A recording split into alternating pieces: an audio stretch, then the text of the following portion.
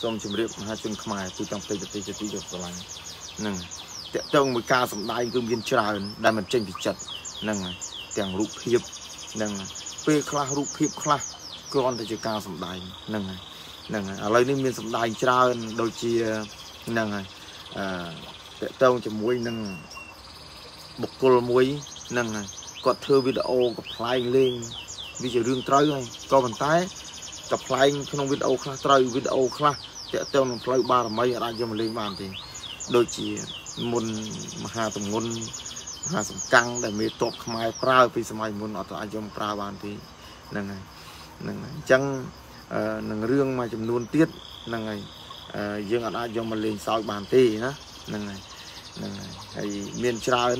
មានហ្នឹងហើយមានហ្នឹងហើយ ហ្នឹងហើយបារមីនាគអញ្ចឹងទៅរំសបាយអីចឹងទៅហ្នឹងហើយហ្នឹងហើយក៏ប៉ុន្តែថតហ្នឹងហើយជួលសារព័ត៌មានបង្អើលហ្នឹង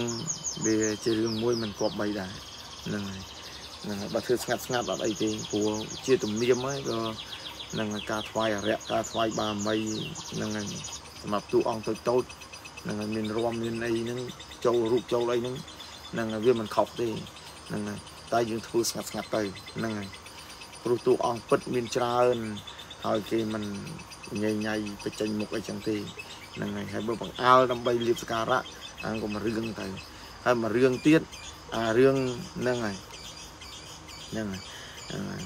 ហ្នឹងហើយមនុស្សដែលណាដែលយើងហ្នឹងផ្អើលអីចឹងទៅហ្នឹងហើយមានអ្នកតោងល្បីហ្នឹងហើយមានអ្នកប្រឆាំងហ្នឹងទៅមានអ្នកជេរយកល្បីមានអ្នកហ្នឹងហើយទៅ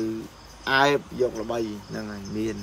ហ្នឹងហើយអញ្ចឹងមានមានច្រើនបែបនៅក្នុងប្រទេសយើង គឺមានច្រើនរូបភាពនៃការសម្ដែងហើយបើអារឿងដូចថាដូចលោកគ្រូនិយាយអញ្ចឹងអារឿង